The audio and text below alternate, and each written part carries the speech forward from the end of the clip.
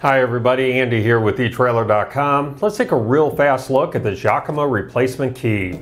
This is going to replace one lost or damaged key for your Yakima racks and carriers.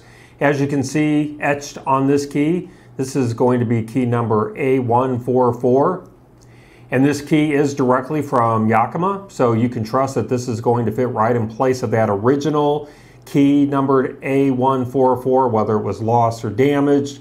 You're not going to have to worry about compatibility issues or anything like that. This is going to work just like that original key. Well, that's going to wrap up our real quick look today. I do hope that it was helpful for you. Again, my name is Andy. Thank you for joining me.